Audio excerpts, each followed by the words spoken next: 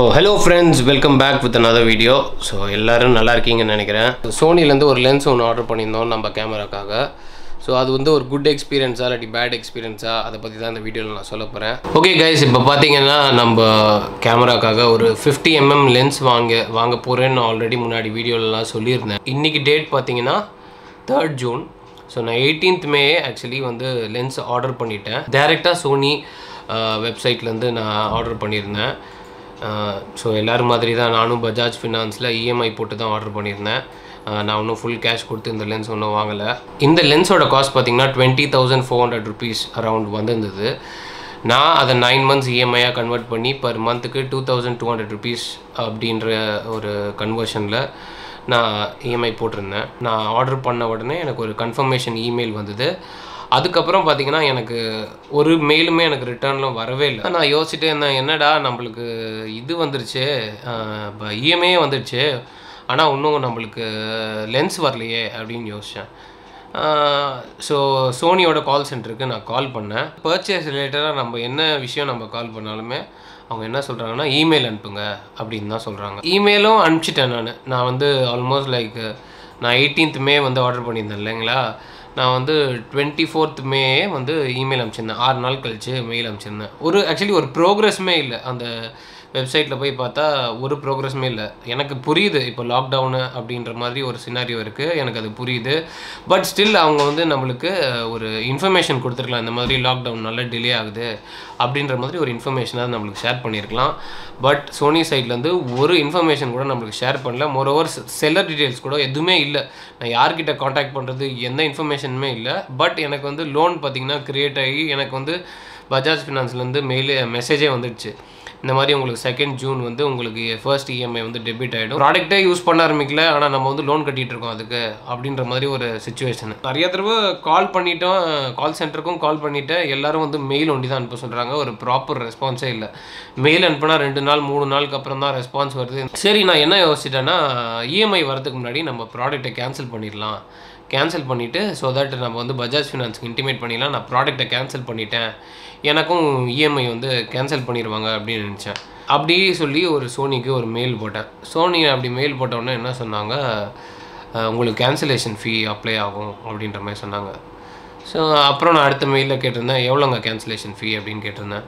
பார்த்தீங்கன்னா என்னோட ஒரு மாதம் இஎம்ஐ வந்து அவங்க கேன்சலேஷன் ஃபீயாக சொல்கிறாங்க ரெண்டாயிரத்தி முந்நூறுரூவா கேன்சலேஷன் ஃபீ ஆனால் ஆர்டரில் வந்து ஒரு ப்ரோக்ரஸுமே இல்லை. ஆர்டரை பற்றி இந்த மாதிரி ஆர்டர் பேக் ஆகிடுச்சு ஆர்டர் இந்த மாதிரி ஷிப் ஆகிடுச்சு வேர் ஹவுஸ்லேருந்து எந்த இன்ஃபர்மேஷனுமே இல்லைங்க. ஆனால் நம்மக்கிட்ட இருந்து கேன்சலேஷன் ஃபீ வாங்குறாங்க. இது எப்படி இருக்குன்னா இப்போ சைட்லேருந்து இது நம்ம சைட்லேருந்து ஏதாவது ஒரு டிலே இருக்குது நம்ம வந்து இப்போ ஷிப் பண்ணிட்டாங்க. நம்ம வீட்டில் வந்து நம்ம வீட்டுக்கு வந்துருச்சு. ஆர்டர் நம்ம வீட்டுக்கு வந்துருச்சு. நம்ம வீட்டில் இல்லை. நம்ம அப்போ கேன்சல் நம்ம ஊர்லேயே இல்லை. நம்ம கேன்சல் பண்ணுறோம் நம்ம மேலே தப்பு. நம்ம வந்து கேன்சலேஷன் ஃபீயை அக்செப்ட் பண்ணிக்கலாம். சோனி சென்டரில் தான் இது டோட்டலாக அக்கௌண்டபிள் அவங்க ஒரு இன்ஃபர்மேஷனுமே நம்மளுக்கு ஷேர் பண்ணவே இல்லை. அதாவது இந்த மாதிரி ஷிப் ஆகிடுச்சு லென்ஸ் வந்து ஷிப் ஆகிடுச்சு இந்த மாதிரி இந்த இடத்துல இருக்குன்ற மாதிரி ஒரு இன்ஃபர்மேஷன் கூட நம்ம ஷேர் பண்ணதுனால நான் வந்து அதை கேன்சல் பண்ண சொல்லிட்டேன். அமேசான் ஃப்ளிப்கார்ட்டில் கூட வாங்கிடலாம்னு நினச்சேன். ஏன்னா அமேசான் ஃப்ளிப்கார்ட்டில் கூட டெலிவரி கொடுக்குறாங்க வீட்டுக்கு. ஏன் இவ்வளோ டிலே பண்ணுறாங்கிறது எனக்கு சுத்தமாக தெரியவே இல்லை. கேன்சலேஷன் சார்ஜஸ் அனுப்பிச்சோடனே நான் திருப்பி ரிப்ளை போட்டிருந்தேன் அந்த மாதிரி சோனிக்கு ஏங்க இந்த மாதிரி ஒரு இன்ஃபர்ம் ஒரு ப்ரோக்ரஸுமே இல்லை உங்கள் ஆர்டரில் ஆனால் நீங்கள் என்கிட்ட இருந்து கேன்சலேஷன் சார்ஜ் மட்டும் வாங்குறீங்க. எந்த விதத்தில் நியாயம்? இது டோட்டலாக சோனி தானேங்க அக்கௌண்டபிள் நாங்கள் எப்படிங்க அக்கௌண்டபிள் ஆக முடியும் அப்படின்ற மாதிரி நான் வந்து ஒரு மெயில் அனுப்பிச்சிருந்தேன்.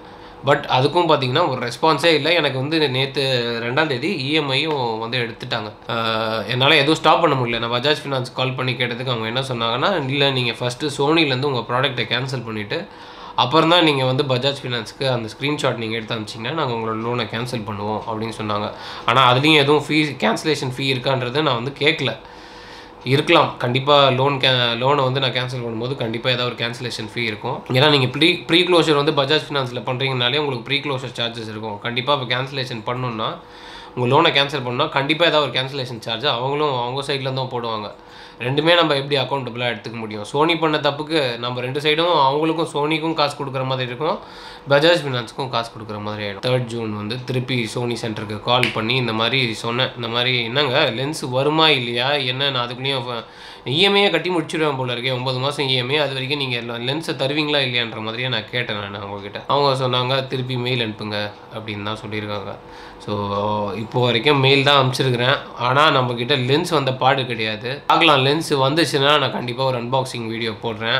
பட்டு uh, ரொம்ப ஃப்ரஸ்ட்ரேட்டடாக இருக்குது கஸ்டமர் சர்வீஸ் சோனியோட கஸ்டமர் சர்வீஸ் பார்த்திங்கன்னா நிஜமாவே ரொம்ப வேர்ஸ்ட்டு எல்லாரும் வந்து ஒரு ரூபா ரெண்டு ரூபா கொடுத்து எந்த பொருளும் வாங்க போகிறதில்ல சோனிலேருந்து சோனியில் எல்லாமே ஒரு uh, ப்ராடக்ட்ஸோட ரேட் பார்த்திங்கன்னா எல்லாமே பயங்கர காஸ்ட்லி தான். ஸோ இவங்களால ஒரு கால் சென்டர் வச்சு நடத்த முடியலையா அப்படின்ற மாதிரி ரொம்ப அசிங்கமாக இருக்குது மோரோவர் மெயில் சப்போர்ட்டும் வந்து ப்ராப்பர் ரெஸ்பான்ஸே கிடையாது. ஒரு மெயிலிங் டீம் அவங்களுக்கு வந்து கண்டிப்பாக மெயில் சப்போர்ட்டுக்குன்னு ஒரு டீம் வச்சுருப்பாங்க. அவங்க எதுவுமே ரெஸ்பாண்டே பண்ண மாட்டேன்றாங்க. ரெண்டு நாள் மூணு நாள் ஆகுறாங்க ஒரு ரெஸ்பாண்ட் பண்ணுறதுக்கு இவ்வளோ பெரிய ஒரு ரெப்புடேட்டட் கம்பெனி இந்த மாதிரி வந்து ஒரு கஸ்டமர் சர்வீஸ் கொடுக்குன்றது நிஜமாகவே என்னடா இதுக்கு மேலே இந்த மாதிரி ஒரு நல்ல கம்பெனியாக நம்ம வந்து நம்ம கம்பெனி போய் ப்ராடக்ட்ஸ் வாங்கணுமா அப்படின்ற மாதிரி இருக்குது இதுக்கு சின்ன சின்ன கம்பெனிஸ்லேயே போய் வாங்கிட்டு வந்துடலாம் அவங்களோட சர்வீஸே ரொம்ப நல்லா இருக்குது ஏன்னா அவங்க பிஸ்னஸை மேலும் மேலும் இம்ப்ரூவ் பண்ணுன்றதுக்காண்டி நல்லாவே கஸ்டமர் சர்வீஸ் பண்ணுறாங்க ஆனால் அந்த பெரிய கம்பெனியை நம்ம எங்கே ரீச் பண்ணுறதுனே தெரிய மாட்டேங்குது. ஆனால் சின்ன சின்ன கம்பெனிஸ்லாம் ஈஸியாக அவங்க கிளியராக கொடுத்துறாங்க இன்ஃபர்மேஷன்லாம் இந்த மாதிரி ப்ராப்ளம்னா இங்கே எங்கே ரீச் பண்ணுங்க அப்படின்ற மாதிரி அவங்க வெப்சைட்லேயே இருக்குது ஆனால் இந்த சோனி சென்டரை நான் வந்து கால் பண்ணி அவங்கக்கிட்ட இன்ஃபர்மேஷன் அந்த எங்கே ரீச் ஆகணுன்ற கேதர் பண்ணுறதுக்கே எனக்கு almost two to three days ஆகிடுச்சு ஹோப்ஃபுல்லி நம்மக்கிட்ட லென்ஸ் வந்து சேர்ந்துரும்னு நினைக்கிறேன். லாக் லாக்டவுனும் லாக்டவுன் மோஸ்ட்லி எக்ஸ்டெண்ட் பண்ண மாட்டாங்கன்னு நினைக்கிறேன். பிகாஸ் கேசஸ்லாம் சென்னையில் குறைஞ்சிட்டே வருது. சோனியில் லென்ஸ் வாங்கின எக்ஸ்பீரியன்ஸை நான் ஷேர் பண்ணணும்னு நினச்சேன். நிறைய பேர் வாங்கியிருக்கலாம். அவங்களோட எக்ஸ்பீரியன்ஸும் நீங்கள் வந்து கீழே ஷேர் பண்ணுங்கள் உங்களோட கமெண்ட் செக்ஷனில் சொல்லுங்கள் இன்னொரு வீடியோவில் பார்க்கலாம். Until then Bye bye from Dinesh Vlogs.